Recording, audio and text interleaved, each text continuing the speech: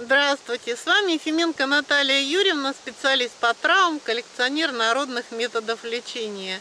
И э, я нахожусь возле а, кустарника, который знаком, в общем-то, многим. Это у нас боярышник, боярка, боярская ягода. И а, не надо недооценивать данный кустарник, э, несмотря на то, что дурная слава у настоки боярышника, которые используют алкоголики, то это суррогат, а к настоящему, к настоящей ягоде, а, к этому кустарнику это отношение никакого не имеет. Сейчас самый разгар сбора ягоды. Ягода наполненная, она не сухая, она вот сейчас готовая к сбору. Ну, у боярышника, правда, лекарственные и листья, и сама ягода, и цветы. А, и а, не, не надо недооценивать данную ягоду, потому что а, вкус такой вяжущий, в общем-то, не сильно привлекательный. И несмотря на то, что из боярышника можно приготовить и компоты, и варенье, и в сыром виде перетереть, э, и э, быстро очень засушить, э, почему-то на боярышник, в общем-то, не обращает внимания. На самом деле не только от сердечных сосудистых заболеваний данная ягода. Хотя да, а, при сердечно-сосудистых заболеваниях э, ягода очень хорошо действует, а, исходя из того, что в ее составе очень много пектинов, органических кислот, витаминов, микроэлементов, в том числе калия и магния, а, кверцетины, провитамины, микроэлементы, макроэлементы. В общем, достаточно богатый такой состав. И исходя из своего состава, а, ягода благотворно воздействует на сосудистую стенку. А, боярышник необходимо принимать, если у вас варикозное расширение вен, а стенка будет сосудов изнутри тонизироваться. Боярышник нужно принимать при недостаточности мозгового кровообращения, недостаточности коронарного кровообращения. И он стимулирует сосудистую стенку, делает ее более эластичной. А, плюс а, пектины, которые находятся в самой ягоде, они, в общем-то, способны мало того, что на себя собрать токсины, мало того, что они способны а, уменьшить сахара, уменьшить холестерин. В общем-то, плюс калий и магний а, напитывает сердечно-сосудистую а, мышь, э, систему и мышцу сердечную как таковую. А, в общем-то, снижает давление данная ягода. И, конечно же, при сердечно-сосудистых патологиях применяют эту ягоду достаточно активно.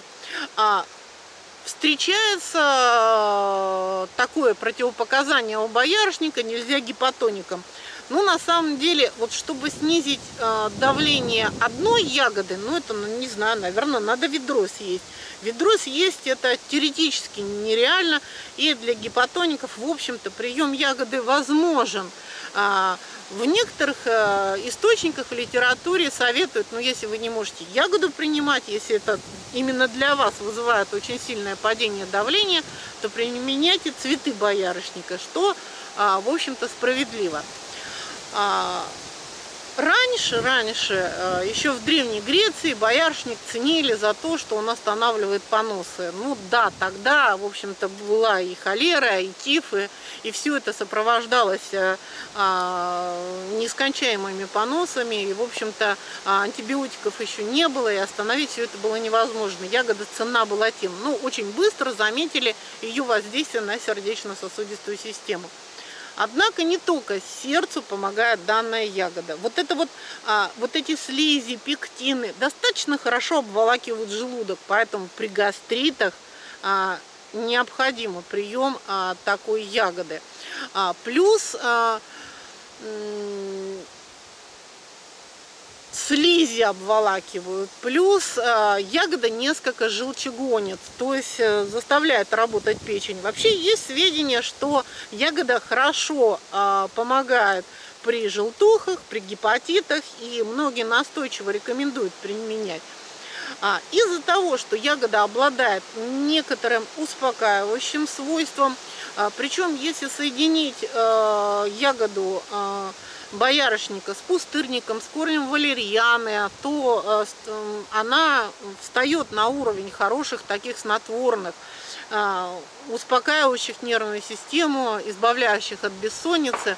А, данная ягода рекомендуется при гипертиреозах щитовидной железы, что, а, и понятно, именно при гипертиреозе а, происходит вот это вот учащенное сердцебиение, а, происходит вот это вот а, некая напряженность нервной системы, а, у человека там лихорадочно блестят глаза, то есть он весь вот, в общем-то, активный. И, конечно же, данная ягода, она снизит а, вот этот вот выброс, э, гипервыброс э, гормон щитовидной железы. Ну и пектины, в общем-то, соберут лишнее, так скажем. А вот на гипофункцию боярышник никак не влияет и, может быть, будет даже вреден. А для беременных и кормящих а, не рекомендуется боярышник по абсолютно, не потому что он токсичен или по абсолютно логическим причинам, потому что, ну, в общем-то, он может вы, э, вызвать понижение давления, что неинтересно, да, а, он может, в общем-то, а, вызвать а, уменьшение сердцебиения и несколько повредить именно плоду зарождающемуся, ну, потому что вот он очень сильно успокаивает, и поэтому не рекомендуется беременным. Но беременным и так много чего нельзя, кормящим тем более.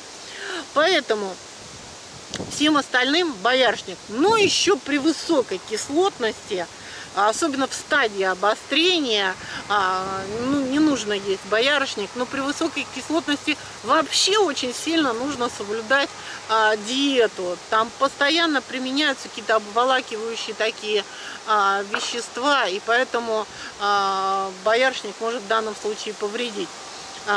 Боярышник неплохо, в общем-то, хорошо воздействует на кожу.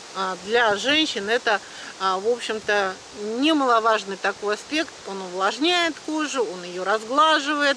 А, большое содержание витаминов и С, и Е, и К, а, и А, провитамина А, каротиноидов.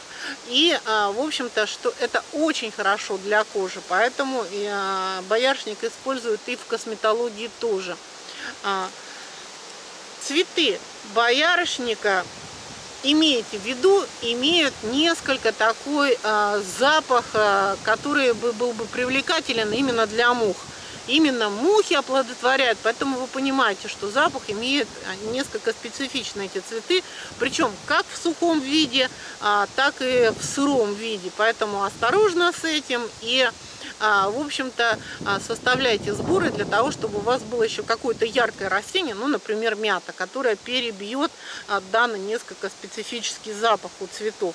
Хотя многие привыкают и не воспринимают нормально. Так, негативно, вернее, воспринимают нормально. И лист, и кора используются в листу а, боярышника достаточно тоже много микроэлементов, и все показания абсолютно те же самые, просто лист надо собирать, а, вот именно такая вот пора наступает после цветения данного куста, а, когда лист становится таким крепким, крепким ярко-зеленым, ну, в общем, тогда приходит э, время сбора. А вот ягода приходит время сбора сейчас. Ягода достаточно хорошо сушится, а, вы ее прям а, очень быстро промываете на сетке и а, в проветриваемое помещение, либо где-то под вентилятор, и, в общем-то, сохнет она быстро. Единственная какая-то такая сложность, это то, что сухую ягоду просто обожает амбарная моль. Это не та моль, которая, в общем-то, съедает э, шубы и другие шерстяные вещи. Это та моль, которая попадает к нам вдруг в дом а, с сухофруктами. Поэтому, если вы заносите крупу и сухофрукты, сначала их отправляйте в морозилку, чтобы там, чтобы там э, погибло э, возможные там вот эти вот э, амбарная вот эта моль, вот эти личинки, э, либо сами бабочки, чтобы они погибли. А тогда вы сырье свое в квартире не будете заражать. Избавиться от амбарной моли теоретически невозможно, ее не берет ни один яд. Поэтому очень и очень сложно. И вот э, поэтому за сырьем смотрите.